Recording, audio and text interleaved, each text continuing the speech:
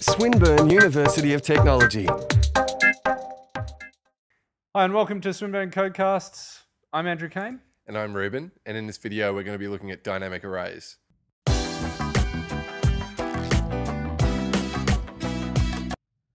So far, we've been able to create programs that use variables to store values. And if we wanted to store multiple values of the same sort of information, we could use arrays in order to achieve that. And that's been great and all, but uh, you know the arrays are always of a fixed size, so it, it'd be good if we could take those arrays and add or you know remove values from them when I feel like it. Yeah. Well, this is where we can use dynamic arrays. So dynamic arrays allow you to set or change the size of your array as the program executes. And that kind of concept, that's that's exactly what I'm after because my good friend Jake here. Yep.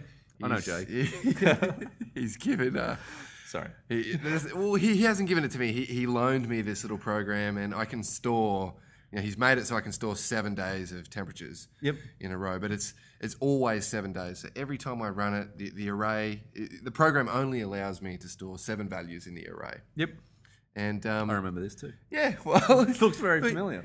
While that, you know, the, the issue comes where wh- what if I want to store maybe less than seven days, or if I'm feeling up to it, perhaps even more Yeah. than a week of temperatures. Yeah, so this is where we could use dynamic arrays. And the great thing at the moment, the procedures that we've got in here will work with an array of any size.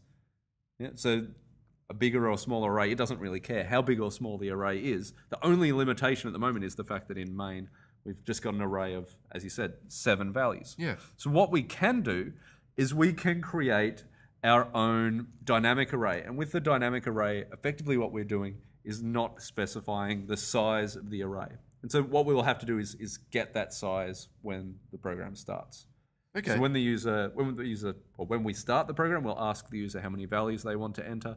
We can store that in the size, and then we can use that to allocate enough space to store that many values in the array. So it wouldn't actually matter what, what size was specified, whether it be three, six, three hundred. 23,451. Uh, what? There yes, yeah. etc. It won't matter how big the size is. Now, this is getting around one of the limitations with the stack. Now, one thing with the stack is that the variables that we allocate on the stack have to have a fixed size. So they, they have that size and they remain at that size throughout their lifetime.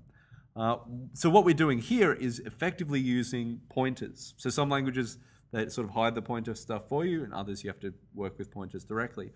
But where we've declared the array here, that is just effectively a pointer. And at the start, it points to nothing. Yeah. Yeah. When we then allocate space or set the length of the array, then that what that does is create in a special space called the heap in memory.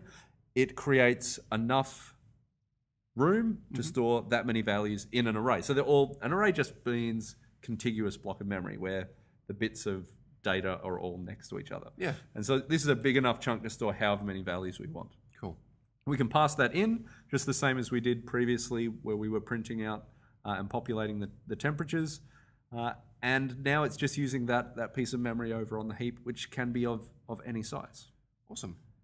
What about if, you know, so th- this kind of example works where the user specifies how many temperatures they want to store when the program runs. Uh, what if they, you know, s- specify that and then they want to perhaps change the size of the array while the program is running? Yeah, so you can add and delete from the array. Yeah. Uh, but maybe what we could do is just we'll do delete. Add would be very similar, and we can talk about the differences uh, and and leave that as an exercise for the viewer. All right. So what I've got here is a delete temperature procedure, and what it's going to do is take in that dynamic array, uh, which we have to take in uh, by reference, so that we can change Modify what yeah. it what we're actually pointing to there. Yeah. Uh, and we could take in, say, the index that we want to delete. Okay. So we're not going to say I want to delete the number 53, but that I want to delete the value at index 3. Yeah, yeah. Yeah, so something like that. Uh, in order to do this, now we've got, if, if we picture the memory as that contiguous block of memory, we might want to delete one of the values out of the middle. And we can't actually do that because it's in the middle. Yeah. So what we need to do is move all of the data that's past it in the array, so yeah, further on in the array, back one position, and then we delete effectively delete the last one. Yeah. Now, if we were adding, we would do sort of the same thing, but in reverse. So we would add extra space to the end Yep. uh, and put the value there. Or if we were inserting, you'd add extra space at the end, move everything across, and then put the value in the middle. Yeah. So that's what you're doing here. You're you're reshuffling all the values in the array before you actually resize it. Yeah. So we loop from the index the user wants to the end of the array. Yeah. uh, one behind the end of the array because no, this is quite a, a funky bit of a, a for loop here. What we're using in the past, we've always used i to represent the index. Here, we've got we're using i sort of to represent two positions in the array. We've got the position i, which we're copying the data into, Yeah. and we're getting it from i plus one, which is you know, The sort of the next index further along. Yeah. So we can't loop to the end of the array because if I did that, I would assign to the last index the value from the one past the last index, which is by definition not in the array. Yeah. Uh, that, that, that might actually run, which is bad. It- Okay. It, it should crash, but some languages that will run, and you'll get very strange behavior, and then sometimes it will crash. and then if you try to run, uh, it, it, yeah, you got to be really careful with this. Uh, so here we're going to loop from the index where we're, we're going to store well, the one that we're deleting. We'll copy each value across to that until we get one, past, one from the end of the array, because there is no one past that. And then we set the length of the array to be one less, and that effectively drops off that last uh, value from the array. Cool. So did you want to maybe run through this Yeah. example execution? Yeah, we can do that. So main executes, and we dec- declare some space for our variables here. Yeah, and in this case, temperature is just a pointer to the array. So the array will exist in the future, but at the moment, it doesn't. Yep. And then we're going to assign a size to the size variable. Yep. So the user can enter a value. How many do you think? I um, I think four is going to be pretty fitting in this instance. You sure? Is that enough? yeah. no, four's good. Yeah. And then okay, so after we've got the size, you know, the number of elements that we want in the array, uh, we need to now set aside that much space uh, on the heap to be able to store all four of those values. Yeah, so what we're going to do here, where we set the length of the array, is allocate enough space to store four integer values. Yeah. And so they'll be contiguous in memory, so there'll be one integer, then it- the next bit of memory is the second integer, then the next bit of memory is the third integer, the next is the fourth. Yeah. So that is our array in memory, which is on the heap. Yep. So after we've allocated the space for the array, Oh, uh, and sorry, we should also mention there that temperature now, of course, points to that allocated space. It's not that we don't just allocate the space, but but temperature says the space that we've got is that bit of space Yeah. in the heap. So we've got to remember those two parts. Yep. Temperature now points to the array, but the array is is on the heap. Sorry. That's okay. Um, populate temperatures is called, and we pass a reference to the array through to that uh, procedure. Yeah. And uh, look, that's going to run uh, four times, or the loop inside that's going to run four times, once for each element in the array. Yeah. So for each index, Yep. Uh, we read the integer in and store it in each index. And now that's actually because the array here is is a pointer. We're getting the pointer to that value on the heap as well. Yep. And that is enabling us to, to you know read values into each element of that array. Yeah. And look, just just for the sake of it, we've got our four temperatures, let's say 41, 43, 45, and 40. So it's pretty hot. Yep. Okay? Yep. Our array's now been populated. Uh, we're going to call print temperatures, and the same thing again, we're going to pass that array to that procedure. Uh, it's going to print those uh, values out that we specified earlier, so 41, 43, 45, and 40 to the terminal. So this is once again using the array. We can use our index. Uh, so we, we're looping through here for each value in the array. Yep. The index starts at zero, goes to the last value in the array, Mm-hmm. uh, and we use that value to access each of those different individual values from the array. Yeah. So we've got temp, which is the whole array. Even though it's on the heap, it's still one array. Yep. Uh, and then we can access each value. So uh, the first time through the loop will be the value at index zero, then the value at index one, the value at index two, the value at index three. Yeah. Yeah. And then that finishes. We've printed out all of those values. And then after print temperatures is finished, uh, there's a call to delete temperature.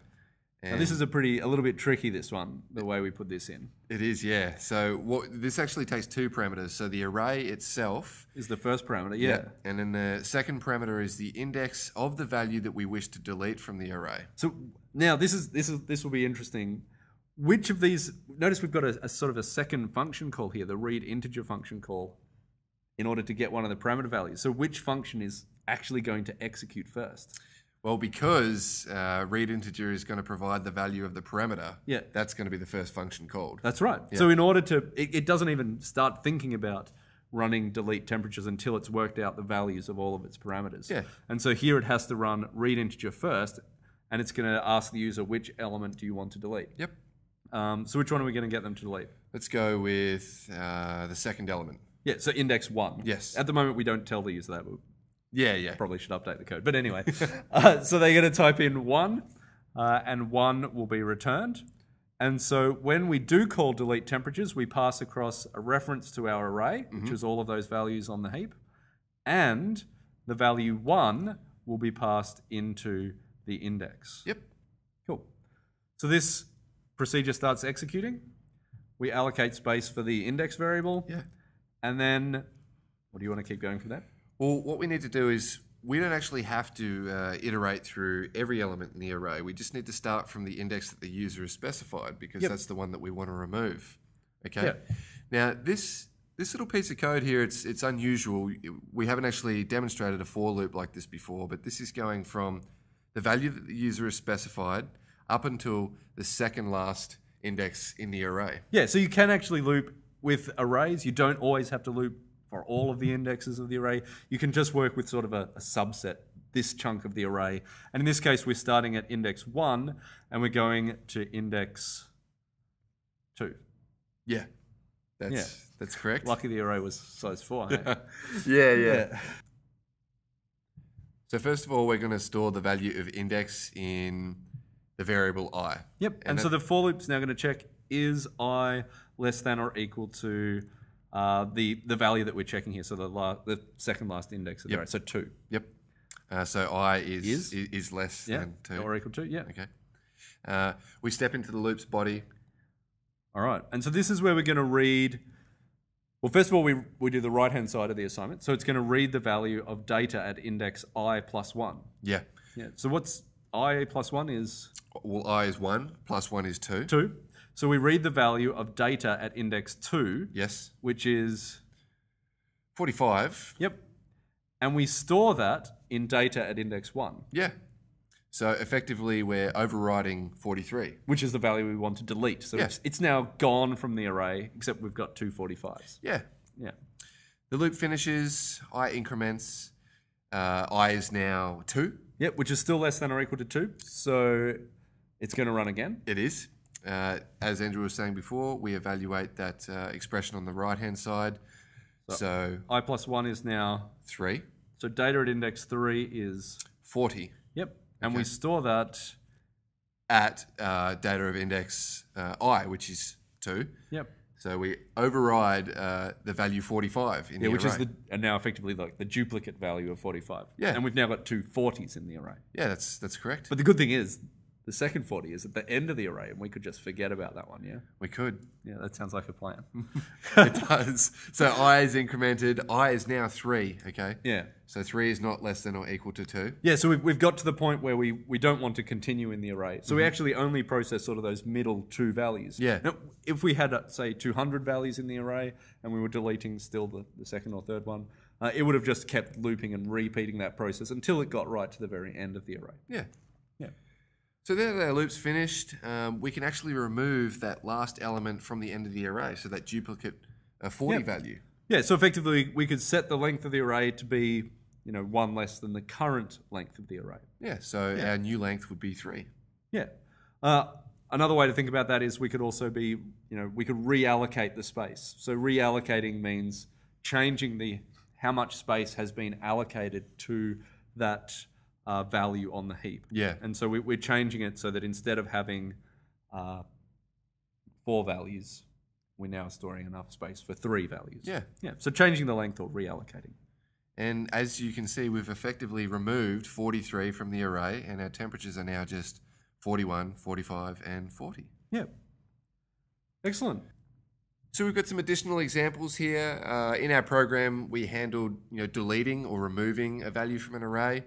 Uh, this first example um, demonstrates how you could insert uh, an additional temperature value into the into the array. Yeah. That we so were this talking would about yeah before. move everything up or reallocate the space. So Yep. get one more position, Mm-hmm. push everything up across one, and insert the value where we wanted to. The second example here shows how you could actually take an array and sort the values in the array. Yeah. Uh, so this would be useful for dynamic arrays, but also for uh, just standard fixed size arrays. Yep. And the final one we've got is just it, it finds the maximum uh, integer value in an array of integers. Yeah. So that that will return the maximum value. Yeah, so some other useful array functions. And that's all we have for dynamic arrays. Uh, dynamic arrays are just like ordinary arrays, however, they live on the heap, which is actually really good because there's much more space on the heap. We can create much larger arrays there, uh, but we can also change the size of the array as the program executes. So if you haven't already, you should check out the video on arrays. And next up, we're going to be looking at abstraction, which covers all the concepts. Yeah, sort of putting them all together in order to create larger, more interesting programs or making better use of the programming resources that we have available to us. Yeah. Thanks for watching. Hope to see you again soon. Bye. This has been a Swinburne production.